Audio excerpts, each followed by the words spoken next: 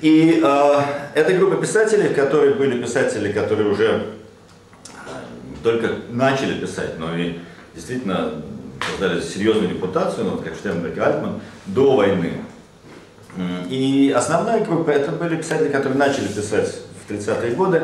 В основном это были те, кто так или иначе учился в э, тех вот советских высших учебных заведениях, где были программы на идиш, то есть в Москве, в Минске, в Киеве, в педагогических училищах. То есть люди, которые получили высшее образование, иногда было два или три человека, которые даже успели поучиться в аспирантуре, допустим, Мирка Рубина, литературовед, который начал писать прозу, а, были критики.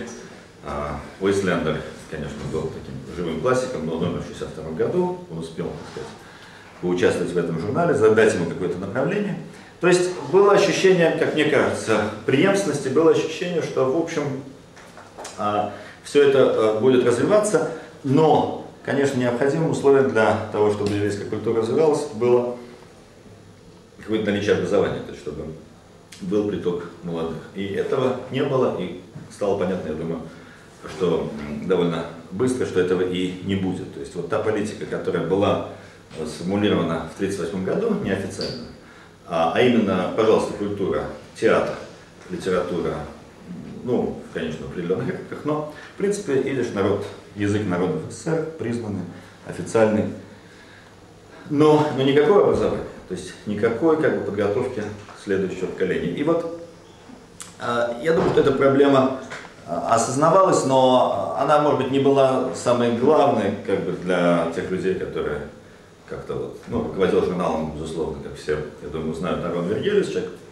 очень а, волевой, со своим совершенно четким представлением, такой авторитарный, с а, очень а, близкими и хорошими связями наверху, а, с, не только в Союзе писателей, Журнал был орган Союза писателей, но и, а, так сказать, прямо в ЦК КПСС. А, при этом ему удалось в 60-е годы поставить себя как бы несколько отдельно. То есть он а, ездил за границу, представляя советскую еврейскую культуру, а, постоянно вступая в споры значит, с возможными оппонентами, в основном с, с левыми как бы, социалистами. То есть, естественно, что главные враги были, так сказать, те, кто были, в общем, идеологически достаточно близки. Но журнал он держал под своим полным контролем, кого-то он там любил, кого-то не любил. А, и все это продолжалось примерно до начала 70-х годов. Ну, естественно, что более пожилые э, умирали. А, но война 67 -го года и потом в большей степени война 73 года оказались неким поворотным моментом. А именно журнал официально стал из литературных художеств общественно-политических. Это было заявлено как бы а официально к нему добавился отдел, так сказать, какой-то вот текущей э, пропаганды политики, и он стал гораздо более антисионистским. То есть если в 60-е годы там можно найти, например, рецензии э, на книги, которые выходили в Израиле, которые писались, книги на иврите, кстати, там была мне кажется, одна из самых интересных рецензий на книгу вот, израильской литературы Веда Дана Миллиона «Пошел на личный», которая вышла на иврите, то в 70-е годы все это сходит на них. Продолжают печататься статьи э, исторического плана, литературоведческого, там, исследования Вильскера, э, допустим, такого ленинградского востоковеда, э, те вещи, которые на русском языке не печатались. Очень интересная была там секция, посвященная искусству, значит, вклейки цветные, которые всегда, благодаря редактору, была такая Соня Черняк, которая знала многих художников.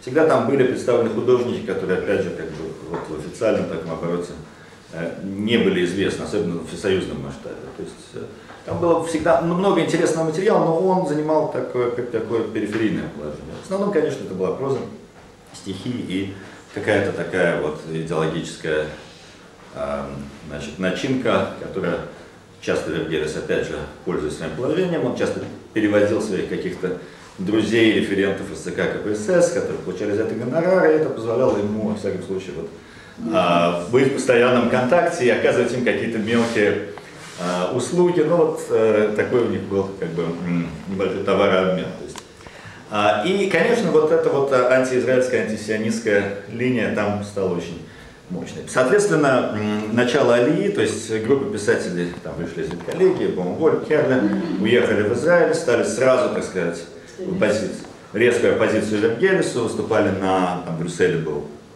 1974 году конгресс по поводу советских евреев. То есть журнал оказался на переднем плане, на переднем как бы фронте холодной войны. Что, вообще говоря, совершенно нетипично для культуры наидыш, поскольку она, как правило, в общем, э, не занимается такими насущными проблемами, политическими проблемами своего времени, а тут вот идиш оказался одним из фронтов, соответственно, с советской стороны Венгелис, с той стороны э, там, другие люди.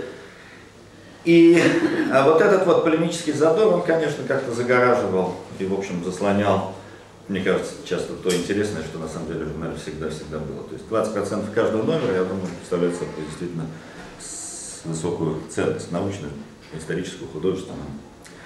А, и вот а, интересно, что если сейчас об этом как-то задуматься, попытаться это как-то реконструировать, что Веркелис на самом деле действительно думал а, о том, что нужно подготовить смены. И использовал те возможности, которые были в его распоряжении, прежде всего как а, довольно важный член Союза писателей. И в качестве вот э, такого, действительно, мне кажется, революционного шага он открыл в 1981 году еврейскую группу на высших литературных курсах. Значит, высшие литературные курсы – это отделение Института литературы имени Московского. Сам по себе институт а, находится в ведении Союза писателей, то есть он тоже занимает как бы отдельное положение в советской иерархии, он не подчиняется Министерству высшего образования. А, готовит он как бы писателей, а высшие литературные курсы это второе высшее образование, как сейчас называется, которое а, получают люди, которые уже как-то себя проявили в литературе, опубликовали, может быть, какие-то книги, а, часто это члены Союза писателей, но обычно с периферии, и которые приглашаются в Москву э, на два года. Получали они тогда стипендию, сейчас помню, 150 рублей, в общем, значительные деньги. А, они получали общежитие. И главное, что они получали доступ вот к, к всей этой структуре Союза писателей, издательства, Литфонд, что было очень важно. То есть их выбирали, их приглашали, и они становились как бы вот следующим коленом. Те, у кого не было высшего гуманитарного образования. Каждый год подбиралась группа на эти высшие литературные курсы, или через год. И Вергелису удалось открыть еврейскую группу. Да? В 81 81 году. И в группе в этой учились, э, ну, многие, то есть там училось 6 человек, сейчас пытаюсь всех вспомнить, значит, это был Сандер, э, Беринский, Бродский, три человека из Молдавии, да, из Кишинева, Пенс, Чернин. Чернин, да, и Пенс, он был более так, человек пожилой, и кто-то еще, сейчас, да. Но вот видно, что уже вот Кишинев действительно поставлял как бы половину э, еврейских писателей. Соответственно, э, эти люди, которые оказались в Москве, и в то время еще было, были преподаватели, были люди вокруг редакции, э, как, допустим, Ривка Рубин, которые действительно были широко образованными людьми со своим взглядом на еврейскую литературу, которые им Э, преподавали, то есть таким образом подготовилась вот эта вот новая, вот эта вот смена. Вот. На самом деле о том, что происходило в Кишиневе, я, конечно, не знаю ничего. Я могу себе как бы представить, что, безусловно, если представить себе Сандера из этого поколения писателя, видимо, ну, уже тогда самого как бы значительного, самого такого а, и признанного, и, а, можно так сказать, самого амбициозного, то есть пытавшегося писать не только рассказы и новеллы, пытавшегося работать в жанре романа. Прежде всего на материале 50-го года рождения, родился он в Бельцах, учился в Кишиневе, по образованию музыканта, преподавал в музыкальной школе, по-моему, играл даже какое-то время в оркестре на скрипке. Да, и, и при этом вот э, человека с детства выросшего в, не только в идише семье, но в идише городе. Человек, который вот это все, а, то, что сейчас мы пытаемся, то, о чем Маша, я думаю, рассказывала на лекции, пытаемся собирать по крупицам, все это было просто вот частью его жизни. И вот как мне кажется, я надеюсь, что мы это увидим, это видно сейчас, когда мы читаем его ранние произведения, видно, как вот это все становится, преобразуется в какую-то, принимает какую-то художественную а, форму. То есть Сандер это такой как бы прозаик-реалист, Фельзенбаум в каком смысле ему противоположен, потому что это поэт, романтик, э, э, режиссер, э, человек с замечательным воображением, фантазиями. А, вот. Чернин, который известен, я думаю, половине присутствующих здесь, человек совершенно другого склада, выучивший идиш, такой довольно, в общем, агрессивный в этом плане, как бы сказать, неофит вот, э, которого в 81 году тоже, в общем-то, вопреки всяким правилам здравого смысла, принимает на работу в журнал. Да? То есть Веркелис, э, понимая, в общем, что он делает, кого он к себе берет, человек, который как бы не остановится там перед какими-то скандалами, скандалы сразу последуют. Он его берет к себе на работу. Это, Даже общем. Да, вот. Скандалы, правда, были связаны не с э, идышем, они были связаны с горскими э, евреями, с крымчаками о которых Чернин, который тогда вот только закончил университет, он э, ездил в экспедиции, э, любил все эти экзотические сюжеты, он написал статьи, где как бы вот эти группы представлялись в качестве евреев. А, эти статьи немедленно были переведены какими-то доброжелательными а, и а, высокопоставленные горские евреи, члены там, я не знаю, близкие к ЦК, полковники и прочее, сразу начали писать доносы что вот журнал вот, занимается такой сионистской пропагандой. А, значит, их датов, совершенно невинных и крымчаков, которые никакого отношения к этим евреям не имеют, их как бы примазывают к этому сионистскому агрессивному народу. То есть это на самом деле довольно серьезно было тогда все-таки. Это 82 83 год, такая брежневский как бы такой застой. И тут надо дать должное Вергелису, что вот в этом смысле он оставался таким еврейским националистом, то есть он стал на защиту Чернина и это все э, как бы своим, э, используя свое влияние, весь этот скандал загасил. И вот э, Сандер, мне кажется, начал печататься тоже тогда же, году 81 может быть, раньше.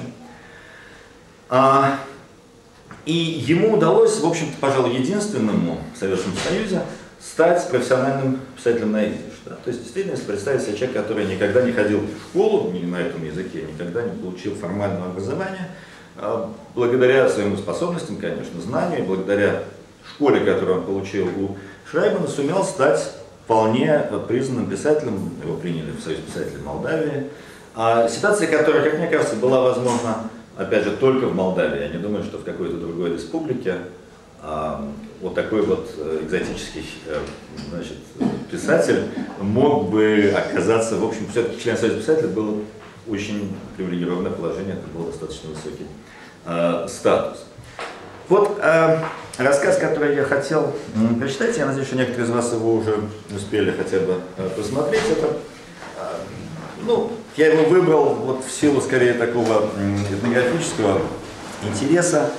Рассказ, кажется, 81 года, вот он вошел в первую книгу Сандера на идише. Э, Хэпман. Да, да, да. По-русски он вышел в книге э, «Ступени к чуду» и в э, альманахе «Год за годом», который был приложением журнала «Советский Шеймонт» на русском языке, ежегодно начал выходить э, в 86 году, то есть самое, самое начало перестройки. Речь здесь идет, э, краткий сюжет, я даже не знаю, может быть, Маша может нам пересказать. Чуть-чуть. А ну почему? Кто там, собственно, что там? Потому что я хотел, чтобы не только я говорил здесь. А вот я бы, то есть идея такая, что мы э, краткое содержание, э, и затем вот посмотреть на буквально на несколько абзацев, э, на такие вот э, фрагменты, чтобы понять, как это делается, что же тут написано. Потому что так, если его читать, просто вот, ну, рассказ, рассказ, в конце концов. Э, много тогда рассказов писалось, таких вот реалистических рассказов из какой-то жизни простых людей. На первый взгляд, в общем, э, ничего э, особенного, никаких там невероятных художественных изысков нету. Но мне кажется, есть там много интересного, да? Но вот, может быть, кто-нибудь начнет. Я начну, а вы продолжите. Да-да-да. Герой зовут Гавриил э, Шапсович, да? Э, он живет в городе Бельце э, с тетей Басей вдвоем. И время происходит, действие происходит сразу после войны, во время которой вот они выжили и живут в городе Бельц. Он устраивается на работу милиционером к большому возмущению своей тети, которая ему говорит, что твой дед не был милиционером, твой прадед не был милиционером, а твой отец не был милиционером, а ты, значит, будешь милиционером. Он говорит, что э, неважно, значит, э, ему нравится это делать. У него он служил на фронте, и потом ему как-то хочется э, продолжать эту службу, вот он устраивается этим милиционером. А, дальше пропущена очень интересная страница. Сейчас можно, пока вот он милиционером устраивается, да, тут вот я хотел просто обратить внимание на несколько моментов, как-то копии легли. Эм, вот он ей говорит, да, ну так что же, тетя, э, выходит, мне тоже веревки видеть, как попы дедушки. То есть ясно, что он происходит из самых таких бедных э, ремесленников, занимавшихся, в общем, тяжелым и э, малооплачиваемым трудом, и он хочет сделать что-то другое. Он хочет как бы вырваться вот из этого вот э, круга традиционных еврейских э, занятий. И как он становится милиционером? Ну, его приглашают в военкомат, да. Тут замечательная фраза на следующей странице в середине. Вот, вот. На улице весна 49 и, конечно, хотелось бы начать, в конце концов, нормальную жизнь. Да? Фраза совершенно невинная, но понятно, что весна 49 -го года это время как бы абсолютно, как бы сейчас сказали, знаковое. Да, вот эта вот ирония, которая здесь зашута, что весна 49 -го года хотелось бы начать нормальную жизнь. А, это не значит, что его там сразу арестуют, вообще говоря, выгонят из милиции. Наоборот, в общем-то, случаи такие были, как мы знаем из наших э, да, экспедиций в Могилеве Подольск, но именно тогда вот э, многие евреи, которые демобилизовывались из армии, обстановка была сложная, действительно там бандитизм, в общем, проблем много нужны милиционеры, и, в общем, выбирали людей, по-видимому, по их, так сказать, характеристикам, которые они получали там в своих воинских частях, достаточно объективно. И вот как вот это вот работает? То есть он, в общем, какие-то сомнения у него есть, потому что тетя, к тете он очень привязан, у него отец и бабушка погибли во время войны, во время оккупации. А, они с ней выжили, причем а, тетя как бы всю жизнь отдала ему, а он, а, там позже будет, что он не убежал. То есть он мог бы убежать, когда их мы нагнали в гетто, вот он остался с тетей, то есть у них такая связь, в общем. Э, и, конечно, ее мнение для него важно, но тут вот интересный момент, тоже, по-моему, подтверждается он замечательно этими самыми информантами, скажем так. Э, да, ему говорят, нам поручено направить в милицию 6 человек, хотите быть одним из них? А приказывать вам я не вправе, поэтому просто спрашиваю, хотите? Шапсович посмотрел на портрет Сталина, висевший над головой майора, и вдруг почувствовал, что больше сидеть не может. Что-то внутри него, что-то такое, что выработалось в нем за пять лет службы в армии, заставило его встать. Да? Он выпрямился и громко по уставному отчеканил. Так точно хочу, товарищ майор. Вот это вот товарищ Сталин, который ему как... А? Всю жизнь в религию не верил, но уважал до 56 -го года Верховного. Да, да, да, да, да. да. Там дальше будет такая фраза, да, что в религию он не верил, но до 56 года уважал Верховного. А в 56 году и это отняли. И это отняли, да. И дальше у него уже начинаются в голове всякие сомнения. И вот это вот тоже, мне кажется, очень как такой четкий, совершенно конкретный штрих, когда вот, вот один вид портрет товарища Сталина на людей действовал каким-то таким магическим образом. Не знаю, насколько нынешняя молодежь может это себе представить. Но э, художественно, мне кажется, это сделано э, очень как бы емко. Да? Отец его, э, отец его перед войной, когда умерла его мать, он женился на вдове, это там дальше говорится, да, и уехал в Теленешта. Э, вот, из Бельц. Да? А про Теленешта, тут если мы откроем рассказ Физенбаума, Э, следующий, не тот, который я включил, но начало, это тот анекдот, который Валера э, недавно рассказывал, вот Фейгеля. Так может вы помните такой анекдот. К Ребе приходит женщина и обращается к нему. Ребе, посоветуйте, что мне делать? У меня нет детей, но это еще не все. А что же еще, спрашивает Ребе. Ой, Ребе, не бабушка моя у меня не имела детей, бабушка не имела детей, и мама моя тоже не имела детей. Да, но если так, то откуда же тогда вы? А я из Теленешта. То есть, не говоря ничего плохого о э, Теленеште, э, Сандер, как бы, э, как мне кажется, совершенно да, апеллирует вот к этому известному из фольклора сюжету, который, конечно, русскому читателю в Москве не говорит, ну, ровно ничего. То есть отец уехал из Бельца в Селенешта, то есть он не, не как все нормальные люди приехал из Селенешта в Бельца, а дальше в Кишинев, а дальше, я не знаю, там, в Одессу или, или в Москву, потом в Америку, а он наоборот. Он как бы по, По нисходящей. по нисходящей, да. И как мы потом знаем, он там и э, погиб. А, но это как бы уже вот показывает нам вот эту вот диспозицию, скажем так, семьи. То есть на самом деле, конечно, этот Гавриил Шапсович, который не, не кончил даже школу, а учится в вечерней школе, он изо всех сил хочется вырваться из этой как бы, вот, среды э, местечковой такой, которая ограничена во- во- не только умственно, но и экономически, рост занятий и прочее. Да? То есть это вот две начала, первые там полторы страницы, которые показывают нам четко, когда и где все это происходит. Да? Дальше вот одна страница у нас пропущена, но Маша ее э, прочитала.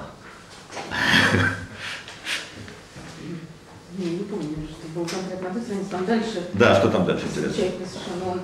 Э, начинает служить в этой самой милиции. Личная жизнь не складывалась, не считая того, что ему присвоили звание старшины. Мгм. Значит, на несколько лет его младше. Вот, он начинает за ней ухаживать э, и понимает, что все, что говорила ему тетя насчет э, того, что купи новый костюм там и Мгм. вообще не будь милиционером, становится гораздо более актуальной и страшнее, когда это говорит вот эта прекрасная Люба. Да. Вот. Но, как говорится, все очень грустно, потому что папа Любе не разрешает э, Да. с ним общаться и увозит ее срочно из города. И таким образом, как бы он оказывается Мгм. один. Да, то есть так до конца, вот э, рассказ кончается в 75 году, да? как вы думаете? Там называется один.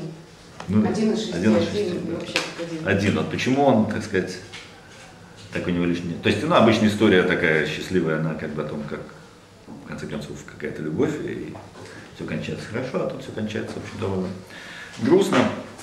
Но вот начало вот этой вот, как бы тети, которая ему как-то так говорит, что ну зачем тебе это нужно, и далее постоянный, постоянный рефрен, что, в общем, не наше это дело, как бы служить в милиции. Да? Работал? Отличное выражение э, «людские дети». Мгм, мгм. Да. А что скажут умные люди, вот это у нас 174 страница на следующей, да? Что лучшей работы Басин племянник себе не нашел, то есть вот он пошел как бы служить этому государству, а он, естественно, поскольку все его как бы вот сознание сформировано в, советской армии, естественно, он сразу начинает возмущаться, и как бы реакция всегда вот такая резкая довольно. Да, он говорит, вот как, кто же эти умники, спекулянты, воры, барахольщики, а тетя, ты все еще живешь при румынах. То есть при румынах жили так, и мы знаем, чем все это кончилось. Да, мы знаем, так сказать, как эти румыны э, себя повели. То есть нужно делать что-то другое. И эта ситуация, которая здесь описана, представлена как ну, судьба вот одного такого, в общем, а, простого совсем а, человека, бедного, достаточно ограниченного, который хочет чего-то другого, хочет как, какого, каких-то изменений. Помните вот этого электромеханика в пригородном селе Ройтмана, Да. который опи- о- о- описывал, как он порвался буржуазной средой совершенно всерьез. Мгм, мгм. Да, вот ситуация, когда человек приходит с фронта, он, э, еще если у него военная форма или милицейская форма, то, в общем, выглядит это красиво. Сказать, он, Мужиков мало. да, а таких, которые получают стабильную зарплату, которые имеют там как какой-то вес в обществе, который как-то там с начальством, в общем, ясно, что он- у него гораздо больше возможностей, чем у простого человека. Естественно, что он довольно завидный э, жених. В этом случае это не работает, то есть отец сразу понимает, э, что это совершенно не для них, и увозят Любу, причем эту Любу увозят в местечко. да. Она, отец сватает ее, соответственно, Шидах за сына своего друга из местечка, и она уже в местечко, опять же, как вот его отец уехал в Калинеште, так сказать, направление здесь другое. А потом она уехала во Львов, и там, значит, она родила ребенка, и все это, все на этом закончилось. Ам, Так что э, вот эта ситуация, опять же, ситуация совершенно конкретная, но, как мне кажется, ее вполне можно себе представить не только здесь и в это время, а ситуация, которая была для еврейской литературы в том смысле характерной и в XIX веке. Когда есть у нас еврейская среда, есть у нас традиционное общество, и есть молодой человек, который хочет чего-то другого. Обычно это вот как раз такой маскил, маскил, который э, как-то вот узнал какие-то новые идеи, какие-то у него новые мысли в голове завелись. И он решает, что нужно ему с этой средой порвать и в каком-то смысле а, пойти на службу вот этим вот новым идеям, вот этому вот тому что ему кажется, будет определять будущее. В классическом виде такая ситуация представлена в романе Менделя «Кляча». Да, значит, «Кляча» — это такая а, аллегория, скажем так, или притча, а, о, в которой есть много смыслов, об этом Мендель с самого начала там пишет в предисловии, что в книге это много-много разных смыслов, разных уровней, каждый понимает, там есть, так сказать, пшат, то есть есть простой смысл, есть литературный смысл, есть и мистический смысл. Вот, и тот, кто поймет всю эту книгу, он поймет главный секрет, а именно секрет э, налогообложения в еврейской общине. Что это главная тайна, сон, так сказать, каким образом э, олигархия распределяет э, доходы, расходы. Вот, это, так сказать, высшая степень постижения. Но а, его герой, этот самый э, Исролик, значит, который хочет стать врачом, он прочитал несколько книг, он знает, что таким образом он будет служить своему народу, он знает, что вот это вот будет будущее, он тоже отказывается, ну не тоже, он отказывается сознательно от всех этих вариантов женитьбы, поскольку он понимает, что это его сразу так прикует к еврейскому обществу. Он изо всех сил учится, учится, учится, учится, читает книги э, с тем, чтобы сдать э, экзамен за экстерном за русскую гимназию. Дело там происходит это в начале, в конце 60-х, начале 70-х годов 19 века. Книга написана в 1873 году. И когда он, когда он э, сдает эти самые экзамены, приезжает он в Киев, там собирается комиссия, и ему начинают задавать вопросы не о том, что он учил, там, не естественные науки, не там, я не знаю, есть биология, физика, математика, а начинает его экзаменовать по русскому фольклору. И этот самый русский фольклор, э, которого он, в общем, не знает, и которому кажется еще дичее, чем то, что вот он...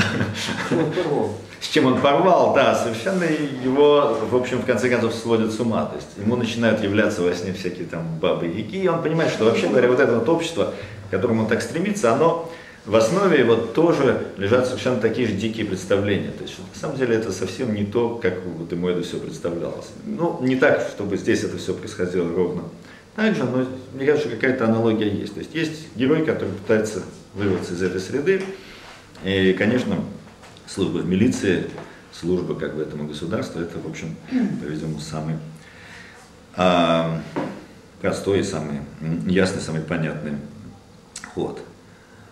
А, вот. Дальше, а, после того, как мы познакомились с этой ситуацией, тут замечательно, мне кажется, есть описание, вот два абзаца на 175 странице, даже, может быть, вся 175 э, страница после, после вот, э, ну, самого, пропуска.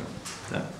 Участок Шапсовича охватывал четыре улицы в квартале, называвшемся Цыгане. Я не знаю, кто-то знает Бельца? Очень интересно. Угу. Цыгане, цыгане, как как, Брехман говорит, капсания. Да. То есть в каждом городе есть определенный квартал, да, и четыре улицы. Улицы интересные, да, Доканатную, Кишиневскую, Кузнечную, Первомайскую. Что, как бы нам говорят, названия этих улиц? Значит, канатная, понятно, что там жили те, кто делал эти самые веревки, как он. Кишиневская ну, как бы довольно, видимо, одна из центральных улиц, которая ведет на Кишинев. Кузнечная, это тоже другое как бы ремесло. И Первомайская, ну, город, ну, вряд ли это от города Первомайск. Это скорее, нет, я не знаю, не то, что она ведет в Первомайск. Да. То есть она называлась раньше, там, какое-нибудь у нее было название, которое, может быть, звучало недостаточно по-советски, поскольку кузнечная это, в общем, пролетарское название. Да, она была какая-нибудь там, я не знаю, торговая, еврейская или еще какая-нибудь. Нет, Кишинев близко. Да, ну вот, вот эти четыре улицы как бы определяют не только географическое как бы, вот это пространство, они определяют и в каком-то смысле, вот, э, ну, можно так сказать, символическое пространство этого. То есть Кишинев, понятно, что это ближайший центр, а канатная кузнечная, Первомайская это советская. Дальше, вот это, по-моему, замечательное описание. После войны там строились наспех, без особого плана и расчета, кто как мог, лишь бы крышу над головой. Каждый хозяин сам месил глину, подмешивая соломы, сам формовал высокие кирпичи, сушил их на солнце посреди улицы и сам своими руками кирпич кирпичу складывал стены. Саман. М? Саман назывался. Да, да. Вот это вот те классические еврейские дома, которые исследует э, Алла Соколова, которые мы видели в э, Рашкове, э, может быть, в Сороках, да? Ну, вот так, да. Так весной, вернувшись в родные края, ласточки склеивают клювиками свои чистенькие гнезда из кусочков грязи. После горьких мытарств на фронте, в эвакуации в гетто, в каждом снова, снова ожило желанное слово «дом». Свой дом не зря говорят, что дом – это не просто глиняные бревна, это душа человеческая. То есть грязь тут как бы очень важное слово, как мне кажется. Да? Дома, которые строят из грязи, как ласточки свои гнезда. Э, это такая довольно простая метафора, но она здесь украшает это. Но в принципе технология этого дела представлена. Чи- чи- Чистенький гнезд грязи. Да. А вот Алла, которая занималась, значит, э, я прошу прощения, Да-да-да, очень. э, путешественниками русскими, которые описывают юго-западный край конца 19 века, там некий, некий русский путешественник описывает Хатина, тоже Бессарабская губерния, и пишет, что вот у евреев, у каждого народа есть как бы м, своя строительная технология. Там вот э, русские, там, не знаю, э, бревна рубят, там, Мгм. Да, это как бы, так сказать, некоторая такая важная часть этничности. Мгм. А у евреев, пишут, у тоже есть свои вот какие-то строительные секреты, они научились строить дома из грязи. Мгм. Вот такая какая такая нация замечательная из грязи. Строит это как бы главный секрет, сказать, строительства. Мгм. Да, эти дома, конечно, в принципе, недолговечные, которые надо постоянно поддерживать. И какой-то, какой-то, опять же, символ такой временности этого самого бытия, можно сказать, в Галуте, если как бы сионистскую принять идею.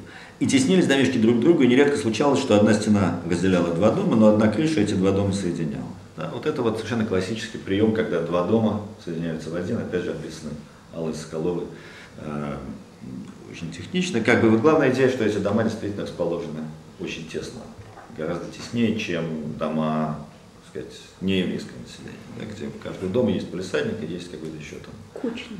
Участок. А здесь они просто вот один к одному, да, и они даже сливаются, да. С каждым годом улицы становились длиннее, оживленнее, шумливее. Первое э, послевоенное поколение ребятишек высып- э, высыпало из них, э, на них из домов, и звонкие голоса детворы заполняли всё, да. И они играют в футбол.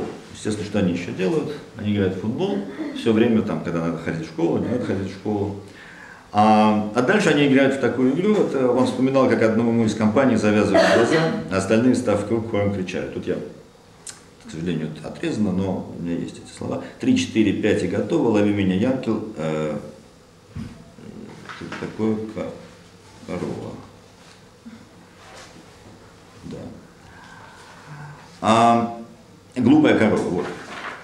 То есть бессмысленная такая частушка, которая, естественно, звучала на идиш, к сожалению, на идиш я здесь в этой книге не нашел.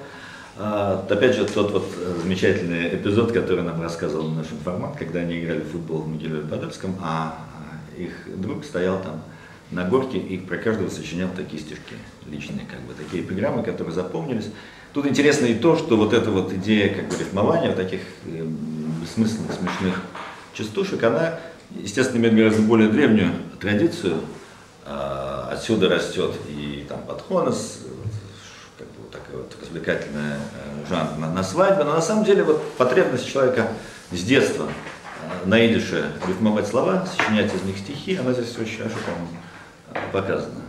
Да, причем, как бы интересно, что она связана с игрой в футбол. То есть вот это вот содержится, вообще говоря, уже э, целая, можно сказать, программа для исследований. Если вы приходите к информанту, вы можете сразу спрашивать, там, как строили дома, не знаю, как играли, во что играли, какие при этом стишки сочиняли. Они будут про это рассказывать.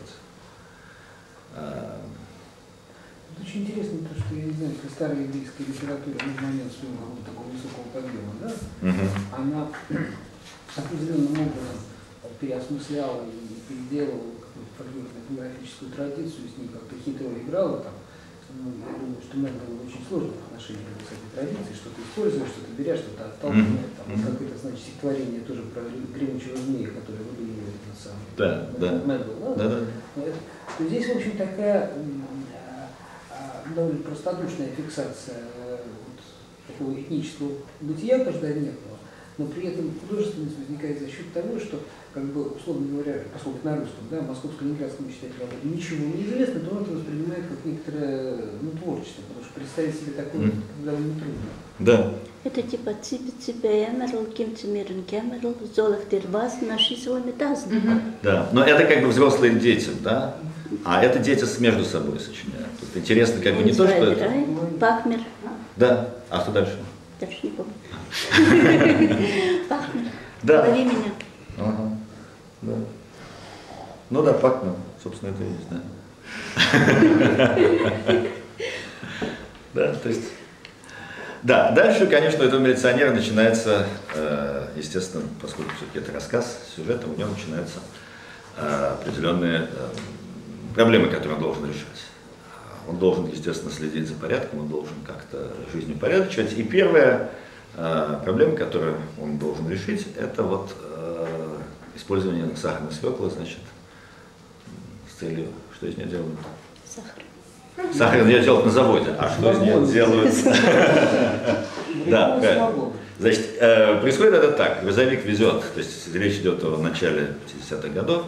Э, грузовик везет свеклу на сахарный завод, на кочках он подпрыгивает, естественно, с нее, свекла с него там падает, или можно на него там запрыгнуть, если он притормозил. И дети эту свеклу а, с него стаскивают и несут ее некому Велвелу, который в своем сарае эту свеклу, значит, э, складирует в мешках, а потом там такая элегантная фраза, что вот э, такой самогонный дымок, значит, над городом где-то вдалеке. И, конечно, это не порядок. Эрмах Бронф. Эрмах Бронф, да. То есть Эрмах Бронф, он всегда этим занимался. В общем, в этом, конечно, нет никакого, э, ничего нового. А за Малуха боим. За Милухой боим, да, но Милуха, она, конечно, не очень легальная. А, да, то есть сначала он хватает э, одного из этих молодых человек, молодых людей э, по имени Мусик, вот там появляется мама и замечательный диалог, значит, мама пытается этого Мусика защитить, он Мусика пытается каким-то образом наказать, но в общем, что может милиционер сделать с Мусиком, еще там куча, значит, этих мамаш, которые на него тут же нападают, да? Вот, но эм, с Велвелом, с Вазимвевкой разговор, конечно, э, другой. То есть к Вевке он приходит э, во всем своем этом самом м, э, силе, силой закона и а, в общем-то, ничем это все не кончается. Да? То есть он его арестовать этого не может. Понятно, что он оказывается как бы частью вот этой вот среды. То есть э, отношения у него с этими евреями, кстати, не такие, как у, скажем так, другого милиционера могли бы быть. Дальше вот на той странице, которая у нас тут, вот, кажется, это или третья страница, да? третья, наверное. Да, жил он по-прежнему у тети Баси в старом домике на Тиосах, я не знаю, что это такое. Тиосы, какой-то район. Да. Личная жизнь не складывалась, не считая того, что ему присвоили звание старшины. То, что Маша помнила. Это, видать, был его потолок. Да? Что значит, это был его потолок? Старшина. Почему он не мог стать младшим лейтенантом? Он был еврей. Да, во-первых, нужно, да. он был еврей. Он закончил вечернюю школу, и даже неплохо. Надо училище. Я не думаю, что тогда ему Нет, надо потому было что он был еврей. Я думаю, что это был его потолок, имеется в виду. Если вы слышите признак идеи того, что в э, царской армии можно было дослужиться до фельдфебеля, то есть стар- старший унтер-офицерский чин. Да, то есть как бы до офицерского чина он Потолок. вполне мог дослужиться, там он оставался каким-то участковым. Дальше там говорится о тех других, то есть там был один из шести, значит там был, были другие, кто-то из них там сделал карьеру, стал майором, кто-то там, я не знаю, спился, кто-то умер. Но вот для него это как бы это его потолок. Я думаю, что опять же, если бы себе представим рассказ, написанный там в 81-82 году, конечно, ничего большего, я думаю, он сказать не мог. Молодой писатель, начинающий, которому, конечно, очень хочется, чтобы его как бы напечатали, заметили. Но